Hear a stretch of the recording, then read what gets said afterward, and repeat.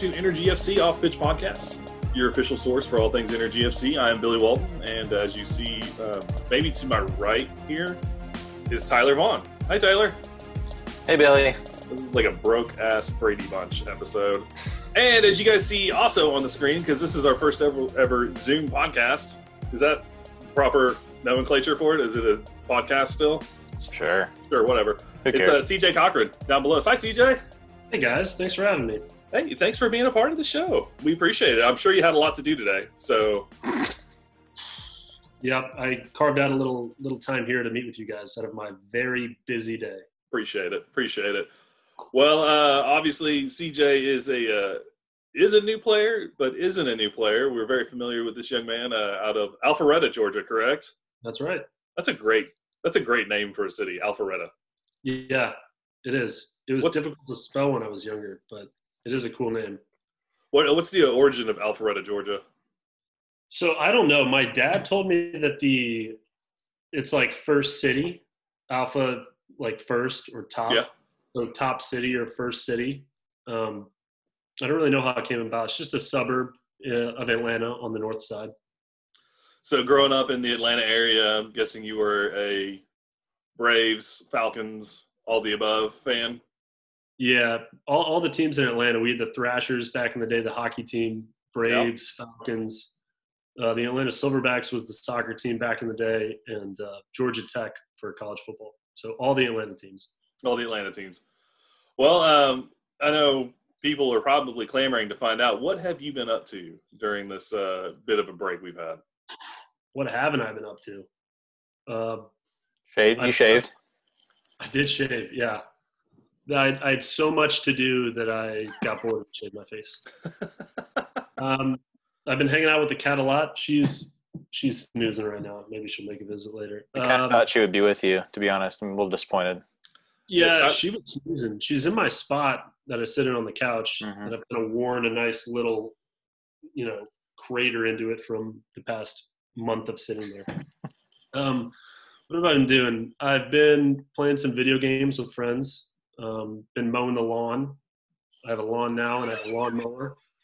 That's taken up quite a bit of time. I, I think I need to get a taller one because I'm having to bend over and reach down really far. I think it's just a small lawnmower. Uh, but besides mowing the lawn, hanging out with the cat and playing video games, just sort of hanging out with my wife, getting the house ready for the baby that's due here in a couple of weeks. Um, I think as far as physical stuff, I think we're prepared. As far as like mentally being ready to raise a child, I don't think we're You never are. near prepared. Okay. I'm, I'm 12 years in and I still have no idea what I'm doing. Well, that's good. As long as as long as I can sell it, I think I'm okay. I just hope she didn't hear me. Yeah. What's the market price for kids these days? A child? Uh, It's got to be. honestly, I think I'd have to pay somebody. Yeah, I think everybody's stuck inside with their kids. I think the price might be. It's, Plummet. it's, On the, yeah. there's too easy of a joke for that one, so I'm going to lay off of it.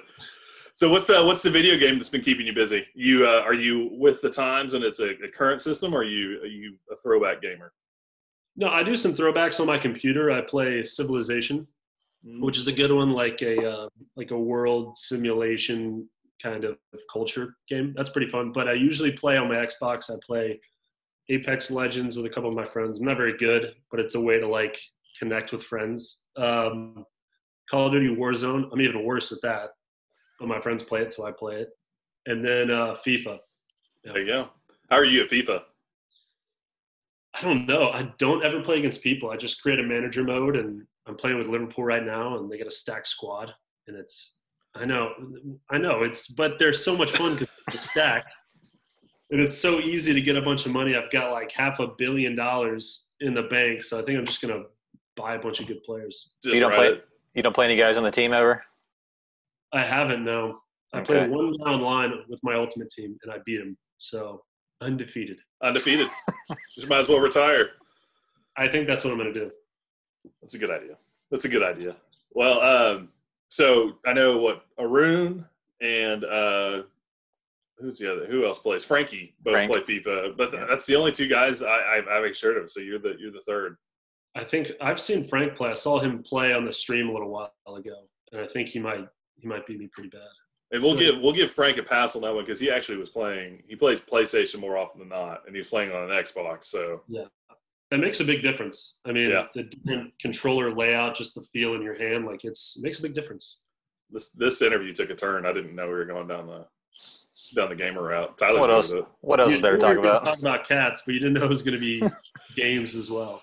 Uh, cats. I think cats is the low hanging fruit though. But Yeah, but it's it's so easy, and it's like cats are never not topical. You know, I mean, we're we're all like cats right now. We're stuck inside. We're just kind of moving around the house, probably sleeping a lot. have you have you gotten the feeling from Ellie that she doesn't want you around? Yeah, Yeah. I give her pets, and she'll take like one or two, and then it's a bite. She's like, Yeah. "Leave me alone, guy." She likes my wife better than me. She sleeps on my wife's face. She'll cuddle up next to her, but I'm just See, good for getting food.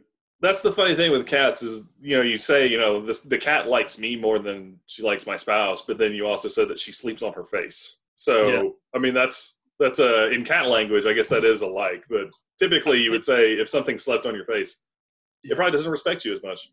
I think the cat knows that the face and neck are important for like survival, but she's not sure if she's supposed to like bite it or suffocate it or smother it or just sort of lay on it. Yeah, But she knows it's important. it's a slow play right now. She's Yeah. biding her time until she knows until the right time, and then I think the cat likes my wife more because my wife will out cat the cat. She ignores the cat all day. yeah, She's from home, so she just ignores her. I am touching, holding, picking up the cat every 30 seconds, so she's tired of me doing that. yep. Uh, but she's trying to get my wife to like give her attention. So I think I'd never be able to do it because I just like picking up the cat so much. But if I would ever like not hang out with her for a couple of days, I think she might try to get that attention. But it's not gonna happen. When can we expect some more uh, Tiger King content coming up from you? I don't know, man. It after taking those photos and sending them out, I got a lot of messages back from people, and they all thought it was funny. But my wife was like, "I- "You look ridiculous," and I did Yeah. ridiculous. It was great. Yeah, I enjoyed it. Did you tell her that was the point? Yeah, I was like, babe, it's supposed to be like silly and goofy, and you know, but she's What What's the story behind the painting that was hanging above your or on your mantle there? so that we did like one of these paint your pet classes. Mhm. So you go and you can have like a little bit of wine or whatever, and they they'll you send the pictures in before, they'll draw an outline, and then you can go in and paint it.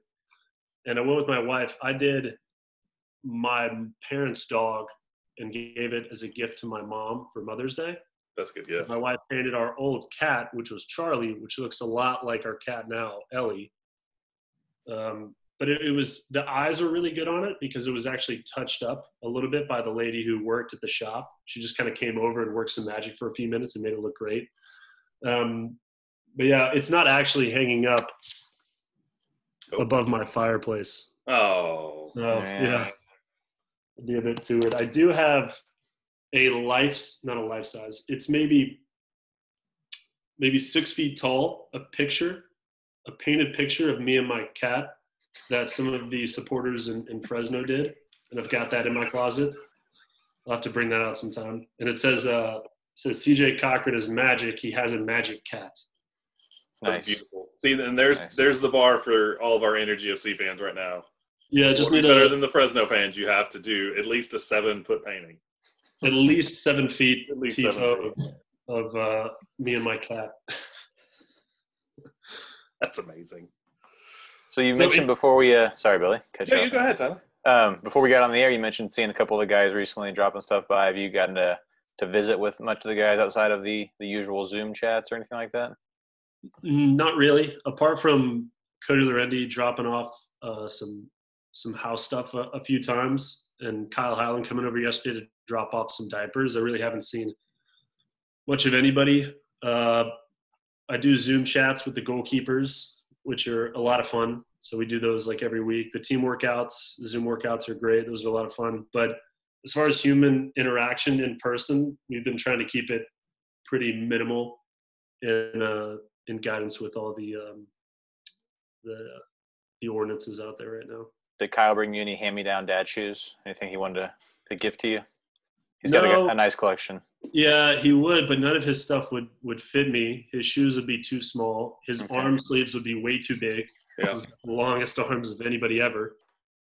Um, but I did. He did bring over his son Lucas for a little bit. I got to see. It's that's a really cute kid, but he just stares at me. Like he just makes eye contact and stares. And I like to try to make the kids laugh, and he, he does not laugh. It's not like he's not having. He's having. not having me. I think he's trying to figure me out. He just like with his chin up and eyes squinted, like he's he's just staring at me. It's kind of like Kyle, right? Kyle will give me a smile, you know, kind of a cheeky, maybe a little smile, but Lucas, no, he's not having it. No. Uh, speaking of cute moments, Tyler got to see his new nephew the other day through a, through a quarantine lens. Yeah. That was Yeah, adorable, had- Tyler. Thanks. Yeah, trying to trying to do what we can because we had this new nephew born right before everything went down, and haven't gotten to see him. We're gonna miss, you know, Are you the the first year of his life, basically. What's that? Is that your uh, first like nephew or niece? Oh no, that's uh, number twelve or thirteen, or I don't even know, man. It's crazy. Yeah. I became an uncle a couple of weeks ago too. My wife's sister uh, had had their baby, so probably the same thing. Probably not going to be able to see him for a year or something. It's a bummer. It's a real bummer. Not ready to be a dad though? You uh, you're physically ready, but not mentally ready. Yeah, I, I it hasn't really hit in or set in yet that I'm going to be a dad, but very excited for it. You have the name picked out. We do, yeah, Is it a surprise? Is it Cody? It- yeah, it is. We're having a girl, and her name is Cody. Cody Laurendi Cochran. That's good. Yeah, but you know, from we wanted to keep everybody involved, including like the old Cody legends at this club. So it's Mm. Cody with an A, Coady. Coady. C I think that's appropriate. I E. Yeah, I don't know if my wife will let me say the name yet, but Don't do it. yeah, when she's born, we'll post a photo. I mean, When if you- everybody wants to know, they can just look at my mom's Facebook. She posts everything, regardless of whether or not. Hey, mom, hang off on sharing the baby name with everybody. All caps. So she's We're so excited. She's excited. She's excited. She's a first-time grandma, so she's pumped. Very good. Very good. So, any any new hidden talents? Any? I'm, I'm going through all the uh, the quarantine canned questions. Any? Did you figure out any new talents or any any hidden hobbies or anything like that? No, I No. don't have any hidden talents. All my talents are pretty well documented or not documented, depending on how good you think my goalkeeping ability is. It's all displayed on the field. How much do you miss this? Miss soccer? I miss being around the team. Yeah, I think obviously games are big, but just like the day in and day out of like being in a locker room and being around your teammates and the coaches and I mean, you guys when you come and film and talk with us, it's always a good time. It's just it's weird right now, you know? Like what do you do? You you run, you stay fit, but you know, looking at the bigger picture, you know, how are people in the community responding? Obviously, soccer or sport in general is is uh, taking a back seat and, and well so with everything going on. So, you know, I, I hope that when when sports come back, we can provide a little bit of, of a light and, and you know a positive uh, spark in, in people's lives. Yeah, yeah, you know, sports has always been a distraction for folks. It's been a you know an escape. So I think now more than ever, I think people are looking for that, and I think we're we're somebody something that can fill that void. Depending on how all the other sports go, it's just such an unknown right now. So- Yeah, exactly. What's your workout regimen like? You doing something like every day? You're getting after it? I do something every day, whether it's like, well, the the team is is is giving me uh, some like weights, uh, like a barbell and some weights to go in there. So I try to lift and run every day, but it's usually like either a lift day or a run day. Um, with our return date not set in stone yet, just want to make sure that when we do get a date, it can be like sort of a build up into that. Um, because it, it just seems like every time we get some news, it's it's been pushed back. So I just want to make sure that, you know, just kind of staying healthy, not pushing it too hard, staying in shape. But then when we do get a date, we can go back. It's it's kind of a, a build uh, into fitness. How often are you doing Coach Lexi's uh, training at home drills that he filmed and put on the interwebs? Yeah, uh, I watch them. They're great stuff. I haven't done any of them yet. Mm. Apart from that one day we were at the field and we did a little bit of uh, of that. hmm But it's it's so difficult to do goalkeeping on your own. So stuff like that is a really good tool uh, for for kids and, and goalkeepers of all ages. And I I've got a um, like a trampoline and a and a little bouncy ball that I've been doing a little bit. But as soon as that bouncy ball gets going, the cat gets going as well, and then the cat plan and no more goalkeeping. So Did you see Petr Cech's thing he was doing earlier? where he was bouncing it off the uh, yeah it was three, three like- balls. He was juggling the three and then juggling off the trampoline. Did you see Yeah. this? It was Lexi- unbelievable. It was crazy. I can't do you- You guys need to try and do that. I think. I tried just juggling regularly, and that's super difficult hmm to do that. So I don't know if I could. I think the technique is there. I think you're, you're on the right track. Reminds me of Will Ferrell when he came on when he was on The Office and he was doing his uh, imaginary juggling. I don't have any balls. Do you trust me? that's great. A, That's it A lot right of there. people like when Will came on The Office. I think it's it's an underrated uh, couple of episodes. You have to go in with low expectations, and I think anybody who's seen a Will Ferrell movie should have always go in with low expectations because you're going to enjoy yourself way more than if you thought, "Oh, this is going to be the funniest thing ever." You gotta, you gotta, you gotta look for the subtleties in the in the humor, Yeah, I think you're spot on. like a cougar in a in the Trans Am. Just can't get it. Can't get anything better than that. You got to drive with the fear. Son, that's ridiculous. I was high when I said that. If you're not first. You're last. It's true. Tyler, I think we had some uh some you wanna go on? We got some listener, I guess are they watcher questions now? This whole video thing's got me. You can listen and watch. It's true. Even You should do both. and Not listen. We tried a a video podcast once with a former goalkeeper Matt Van Oekel. It was not great. We'll just say that. This is going much better. I think so. This is going swimmingly. Hey. We have a lot of questions. Look at that. All right, let's let's go. Uh, we jump pick, in? yeah, let's pick the top drawer. Oh man. Okay. Well, I'll just I'll start in order. Our bug Colin at the Soccer Chef Hmm. wants to know how many books have you read? Colin, how's it going? I hope you're doing well. Um, how many books have I read in quarantine? Ever? I didn't specify. I mean, Good, good, good. You go both all time. So it started with See Spot Run. Now, um, I've, I've been doing some like dabbling in like some stock trading. So my dad sent me a couple of uh of uh, of books about that. Uh, recently, not in quarantine, but I read uh, Dune by Frank Herbert, which is get ready to get ready to start that. It's yeah. I've been warned. It's very ponderous. I'm trying to psych myself up to get into it. Yeah, I enjoyed it. I I just looked it up and saw that it was uh, rated highly as a science fiction book, and I like science fiction. But other than that, I really didn't know anything about it. I think that's a good way to go into it. Dune is Yeah. really good, and then the movie coming out has a great cast, so hopefully that'll be pretty good. Um, Hyperion by Dan Simmons, I think, another science fiction. That one's really good. Um, it leaves you guessing the whole way, sort of a mystery science fiction thing. It's pretty good. So a couple of uh, stock books, and then Dune and, and Hyperion. Bi- Billy, you reading? Yeah. You've time for that. I think my, my theory on that I can't read anymore. I, I fall asleep when I read.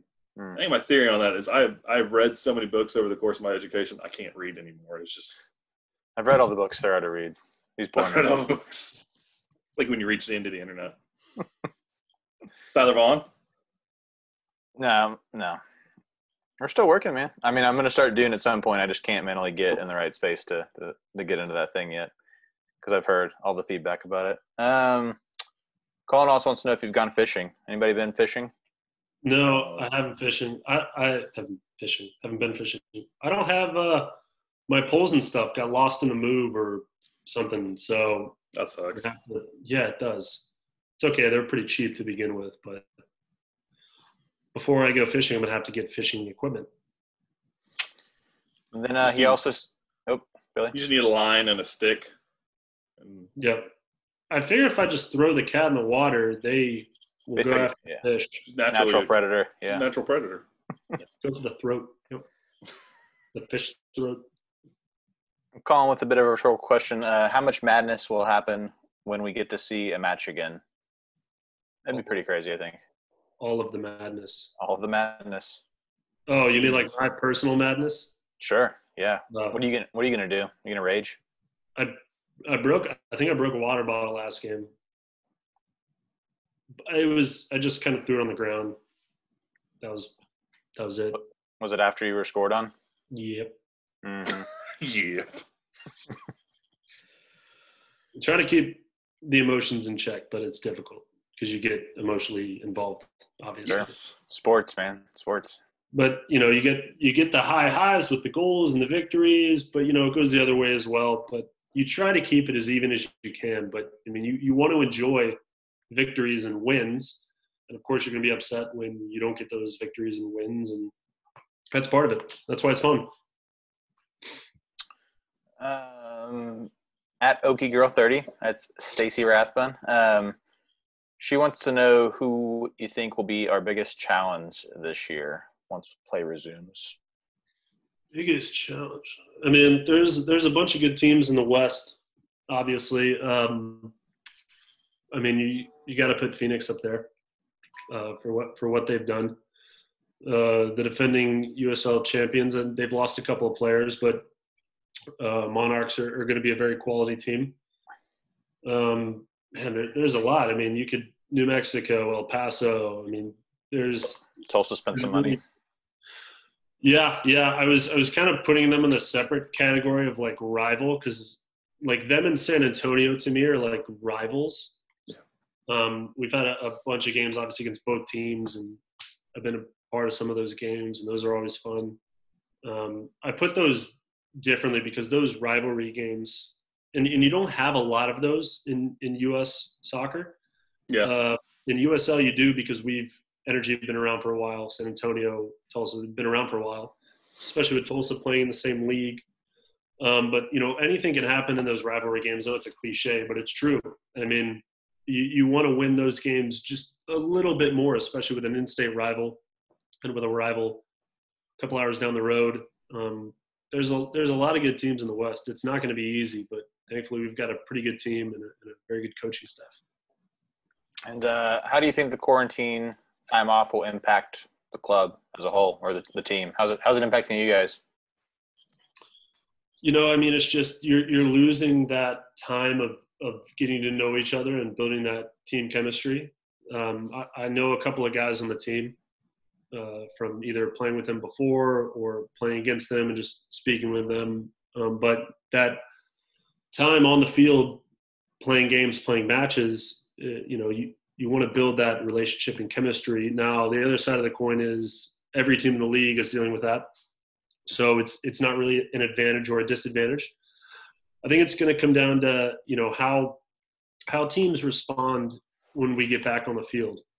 For some teams, if you can transition quickly and get back into it and get up to speed quick, obviously you're going to be in a better position than teams who are are going to build in slowly, maybe peaking later. I don't know what's going to happen with the length of the league or the number of games or playoffs or any of that. Um, so I think when we do resume playing, it's going to be very important to win games early and often, and that wasn't necessarily the case um, beforehand. I thought beforehand it, it's a long season. You don't want to be peaking, so to speak, early in the year the middle of the year. You want to be peaking at the end of the year. Um, but I think that's sort of shifted now. I think it's going to be very important to pick up uh, wins early uh, when we get going again. Do you think there are a lot of teams or individuals maybe are taking this time and not putting in the work? Do you think there's because JP mentioned several times, you know, you'll really see once play resumes kind of a separation between the, the guys that put in work and guys that haven't. I mean, do you feel like there's a lot of guys out there that probably not on our team, obviously, but other Yeah. teams that might be uh might be slacking a bit right now? You know, I don't know. I haven't really thought about that to be honest. Um, I think the physical side of it is important, but we're we're going to have a preseason, so I think even if somebody didn't do anything, they would have a little bit of a buffer with the the preseason. But I think uh, being prepared mentally is huge. Like, how are you dealing with this mentally? Are you kind of slacking off this entire season is something that's already passed us by. I mean, we're here and it's what's April 21st and we've played one game. You know, I think mentally how guys respond once we get back going and how guys are keeping themselves engaged and active and you know thinking during this process is going to be big because it's going to be a bit overwhelming once we've had no you know real human interaction we haven't been together a lot to being thrown in quick three and a half four weeks and then boom back into to games so Yeah. i think it's the the mental side is going to be much more important than the physical side Very nice. Hey, Kiki Walton. That's Marty, Billy's wife, who may or may not be in the room. I don't know. She's Is she not. there? She's not. I locked her out. Well, she wanted to know first and foremost if she had to bring you beer during this podcast. Which is she bringing you beer? I told her she didn't have to. Is that why you got up? Were you getting mad at her earlier? No. Get out, woman. where's Where's that beer? you don't have my beer Um, she wanted to know what part behind the scenes part of our jobs we're missing most, um, and why. I miss being around the team. I mean, that's the whole reason why I started working here was to be around the team and be involved in soccer. And there's no soccer, and it's it's rough. So uh, yeah, I just miss you know miss the guys and all that. Billy, what do you miss? Yeah, I just miss being around the office and actually going, leaving my house for a little while and being able to be around other adults that I don't have to take orders from all the time. Um, this one can apply to all of us. If you had to pick one player to be quarantined with, who would it be and why? Ooh. I mean, CJ's gonna know the guy's the best. So Do you, I would do say- you want to take, do you want to take this before and then I'll go last? yeah, I would say, and then obviously our answer would be CJ, but since since we're all together, let's figure out. We'll say somebody else. I don't know. He'd be. I mean, is the cat around? Is Ellie around for this? Because then I feel like he's He not. comes be, with me. Yeah. See, so he's, He's coming gonna be me. focused on the cat. I'm gonna be ignored. I don't want that. Um, That's fair. I don't know. I think Ray's pretty low key. Ray's funny. I like Ray a lot. I would go with Ray right now. He's a, I like Ray. He's a good dude. Because I think he'd probably leave me alone. We'd have our own space. No, you're wishy washy on Ray. Okay. No, I like Ray. He's okay. Uh, Frank. Frank, we, he could teach me Spanish. I go with Frank too. That would be. I think you would have to learn Spanish. Yeah. I think off the top of my head, he, he Cody Laurendi is a good friend. Um, he he keeps himself going with the podcasts and information, so he'd be probably a good person to, to hang out with. But I think more importantly than just information and communication, I feel like picking somebody who's a good cook. Ooh. Who can cook? I don't know. I'm trying to Yeah. think. I think Kyle Line has said in his Q and A he's a pretty decent cook. Or I'm not buying. it. Brooklyn. No. No, no. I've, I've seen I've seen his breakfast on a daily basis, and I'm not buying that that he's a food connoisseur. Okay. Fair. I wonder who can cook. Let's figure that out. Omar cooks, I think. Yes, yeah, he's posted some good stuff. I Yeah. think he posted on uh, Instagram some of his foods. Foods. Billy, did you pick somebody besides CJ? No. CJ. um. I don't know. Maybe Rafa. Mm. I think he'd be an entertaining uh, Yeah. quarantine roommate. High energy guy. Yeah. He'd like motivate me to work out a lot though, and I don't want any part of that. He'd be like, No? "Get up, let's go, let's work out," and I'd be like, "Rafa, just I want to chill right now." Sleep. Rafa. I don't want to be a better me right now. Lead me when I'm in the mood to be led. Uh, okay, I'm gonna skip ahead because we're running out of time. Um, at Hey Lester Herman, that's Holly Hedo. Uh, what shows are you watching or movies? Shows and movies. What are you watching? We got through Tiger King, obviously. I Mm. think everybody in the state as well as the country watched that one. Good one. We've rewatched The Office for the 50th time. Yeah. Uh, Veep on HBO Go. Big fan of Veep. Julia Louis-Dreyfus is super funny. Hilarious. She's great. What else? Babe, what have we watched? Sunderland Till I Die. Yep. On Netflix. It's a good one.